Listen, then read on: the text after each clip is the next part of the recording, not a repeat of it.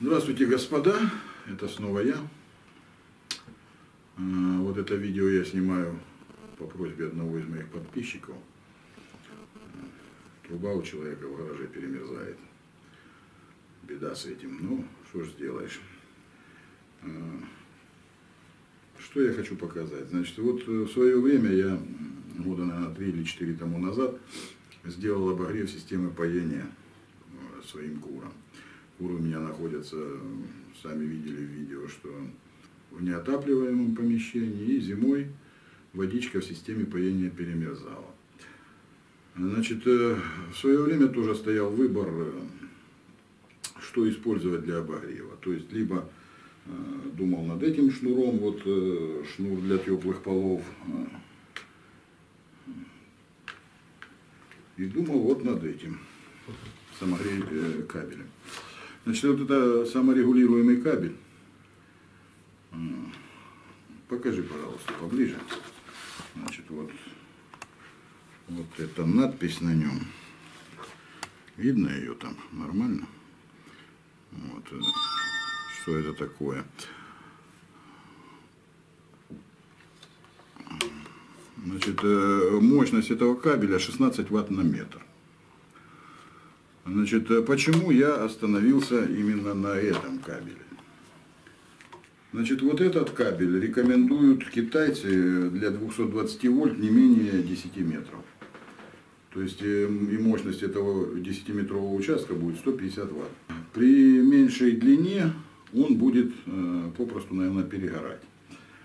Э, Теперь еще один момент. Значит, вот этот э, шнур, его э, нужно будет подключать через терморегулятор. Почему? Потому что, видимо, как бы он нагревается постепенно, все больше, больше, больше и больше. Потому его рекомендуют использовать с терморегулятором. Значит, возникает вопрос, что нужно покупать еще терморегулятор, каким-то образом ставить датчик и так далее. Плюс еще укладка этого шнура по трубе. Ну вот сейчас вот участок трубы системы поения, да, значит, э, чтобы его уложить, то есть э, либо так, либо навивая. Но еще один момент. Второй конец придется тянуть либо проводом к розетке или к терморегулятору, либо на- укладывать вот таким вот образом, как-то вдвойне его навивать или укладывать. А, Ну, как бы э, для меня это, ну, посчитал, что это слишком много сложностей, и как бы уже сам по себе терморегулятор вводить в эту систему, как бы мне не хотелось. Значит, э, остановился на этом. Значит, чем э, мне понравилось вот это? Значит, любой участок вот этого шнура подключаешь, хоть такой, хоть 100 метров. Мощностью, ну, единственное, что будет э, мощность э, потребляемая, то есть 16 ватт на метр, то есть метр 16 ватт и так далее. Значит, что здесь чем хорошо? Просто-напросто э, один конец вот этот вот, ну вот если так поближе, если видно сейчас, вот здесь две жилы внутри.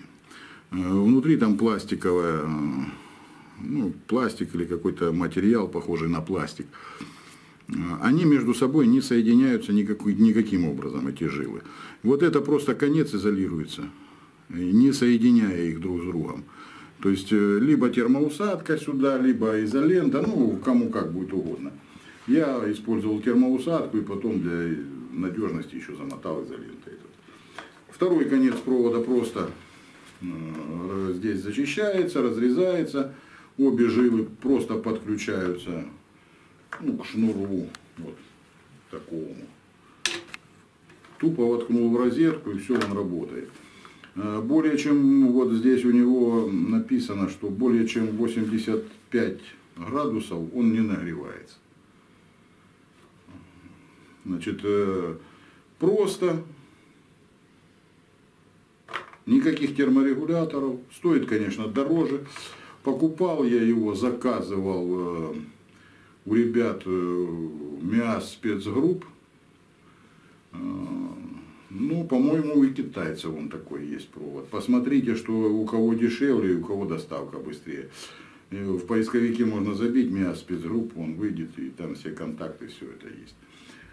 Значит, э, ну, по МИА спецгрупп могу сказать, что люди работают, отработали четко, то есть, как и обещали, я заказывал у них не только этот кабель, а заказывал еще, они мне изготавливали тены для инкубаторов, э, изготавливают тены нагревателей любой мощности, было изготовлено качественно, в срок, и как бы спасибо этим людям. Вот. И провод, все это было отправлено транспортной компанией, вот, и он пришел, все, все четко пришло в срок. Значит, как я его укладывал? Значит, э, просто вот таким вот образом по трубе. Вот в нескольких местах прихватив скотчем. Затем создал ну, теплоизоляцию. То есть, что я сделал? Э, вот это вот агроспан в один слой, ну, порезал агроспан вот такими кусками э, по 10 сантиметров шириной и полиэтиленовая пленка. Э, ну, для теплиц там кто для чего использует. Э, тоже порезана полосками шириной 10 сантиметров. После укладки провода, то есть провод проложил по трубе, один конец в розетку, второй просто тупо заизолирован. И вот таким вот манером Просто это как бы, ну, просто примерно показываю, вот так вот все это промотал. Сверху э, промотал э, полиэтиленовой пленкой и места, где заканчивается намотка, прихватывал скотчем. Потом просто скотчем это все прихватил, и все это держится и стоит уже порядка четырех лет, по-моему, так. Работает нормально. Вода у меня в системе поения у кур э, не замерзает даже при температуре, вот было у нас морозы были 24-27 градусов были морозы, не замерзало. Ну вот у меня все. Пишите комментарии, ставьте лайки, подписывайтесь на канал. До свидания.